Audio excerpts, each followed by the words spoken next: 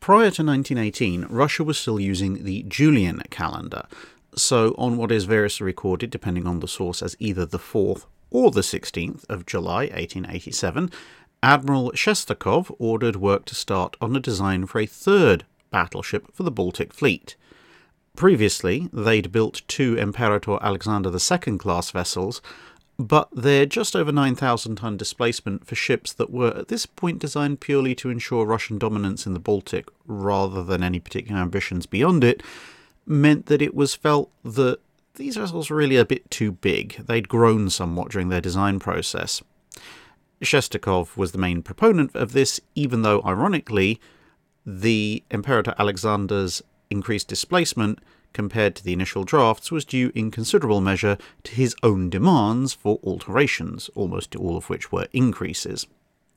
That being said, in November of 1887 the ship's design spec was released to the shipyards, and the preferred main gun battery at this point was the 9 inch gun, as it was believed that this would be capable of easily penetrating the armour of the existing German fleet, this being considered the most likely opponent, at the expected battle ranges, which were, to be fair, pretty short.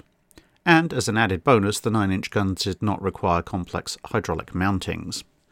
The secondary battery was to consist of 6 inch guns, as was standard for most battleships of the period, and the draft was to be limited to 22 feet due to the shallow nature of many key parts of the Baltic Sea.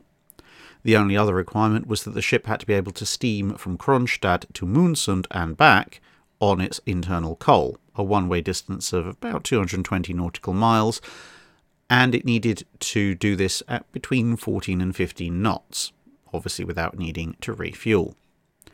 Now, although she was primarily required for operations in the Baltic, this new vessel was also theoretically to be able to operate in the Mediterranean and even possibly to steam to Far Eastern waters.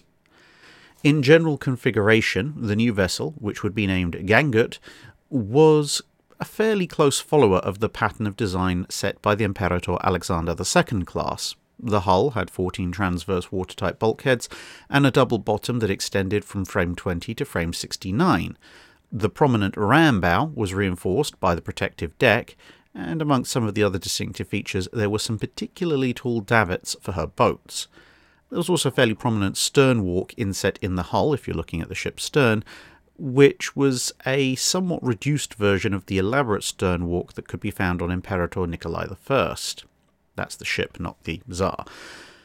Of course, changes were made, and in the end, the main armament actually comprised a single 12 inch gun in a covered barbette mounting at the bow. The secondary armament included four of the single 9 inch guns in casemates, and a tertiary battery of four 6 inch guns was found in open mounts. Anti torpedo boat armament was provided by six 47mm guns and 12 37mm guns, both made by Hotchkiss. There were also four 63mm landing guns and six torpedo tubes, one fore, one aft, and two per side above the waterline in hull mountings. As it became obvious that she'd come in overweight, the Russian Navy considered replacing her 12 inch gun with a fifth 9 inch gun in order to reduce that weight. Alternatively, they also considered replacing the entire 9 inch battery with new 6 inch Canet guns, which would give her a total of 8 6 inch weapons, and leave the 12 inch as the sole piece of heavy artillery. But neither of these options were actually taken up. Armour consisted of compound armour with a main belt 16 inches thick at its maximum, but more than half of it ended up below the waterline in typical conditions thanks to completing 600 tons overweight. The 12 inch gun barbette had 9 inches of protection at its thickest point, and the 9 inch guns had 5 inches of armour on their casemates.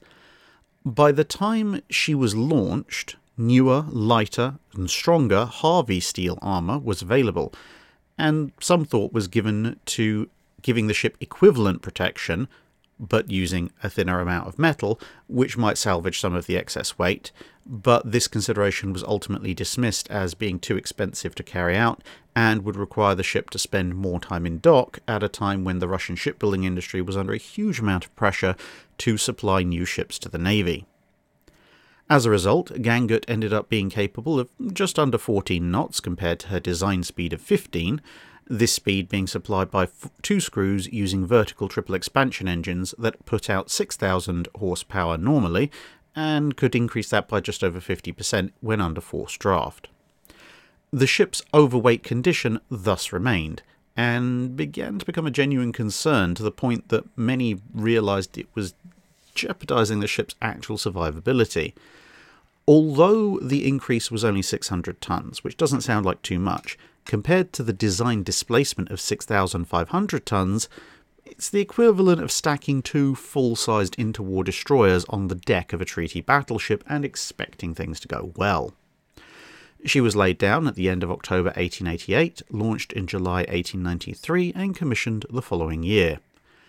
Even with a number of measures in place to reduce the ship's weight, no one was especially happy with her, and in her third year of service they were vindicated, as on the 12th or potentially 24th of June 1897, remember that calendar difference, a very slight shock was felt as she sailed near Viborg, and the ship suddenly veered two degrees off of course.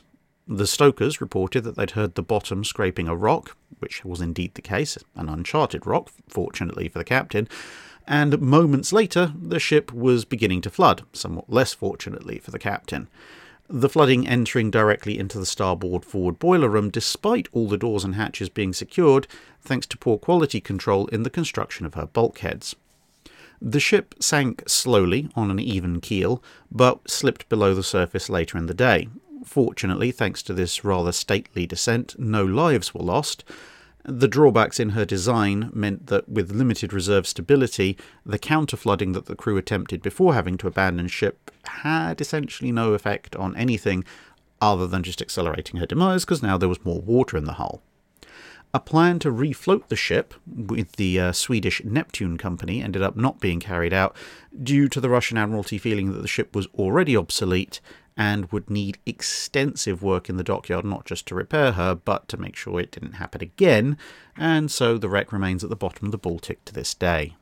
That's it for this video. Thanks for watching. If you have a comment or suggestion for a ship to review, let us know in the comments below. Don't forget to comment on the pinned post for dry dock questions.